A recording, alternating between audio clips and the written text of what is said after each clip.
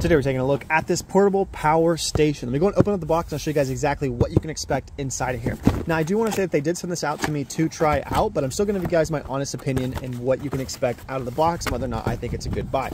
So this is what it looks like straight out of the box. I'm going to go ahead and try and pull this with the handle here. Slides out very nicely here. It looks like you have a user manual and some other things here. Now, don't forget, it does have this box right here. Let's go and take a look and see what's inside here. We'll set this to the side. Looks like this is going to be the charging cable.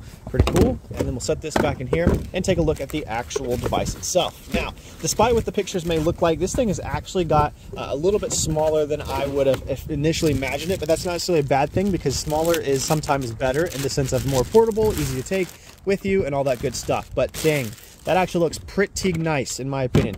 So right off the bat, you do have the handle right here on the top to carry it around. Taking a look at the back, looks like you have some more features here. This is gonna be the light on the back, it's pretty cool, it has a few options there.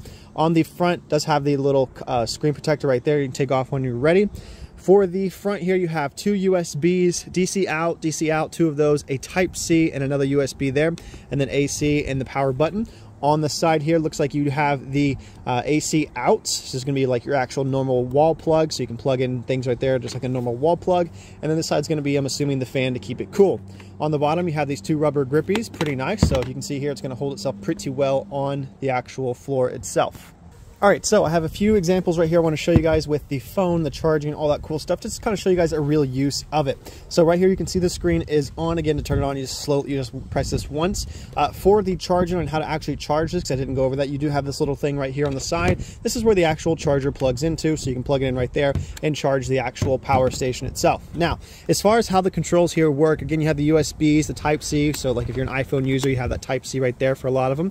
With the AC on the side here, again, this is just your general plug right here. I'm going to show you guys with this charger. This AC won't work until you hold down the AC button right here. So you'll actually see this come on right here. Give it just a second.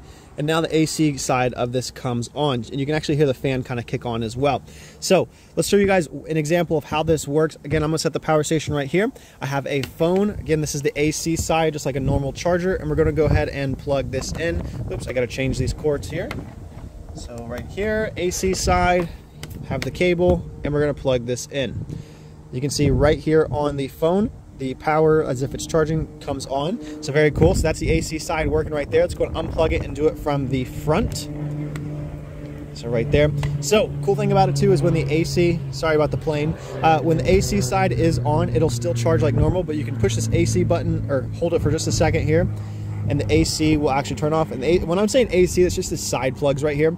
And so right here, you can see this is just the normal power station without the AC on. And if we plug this up, you can see right here, it begins to charge. So very cool. Definitely do like the power station. In my opinion, it works great. The size is excellent. This right here is basically how many hours you have left of uh, the actual device itself. Sometimes it drops down to minutes and all that good stuff. Also gives you the wattage here as well. Sorry about the glare, but definitely do like this. The weight isn't too bad at all. This is something I would take with me with hiking, camping, or just keeping it in my car for emergencies, all that good stuff, or even the house, honestly. So really do like it. Again, super cool. And hopefully you guys, this helps you guys uh, make a decision on it.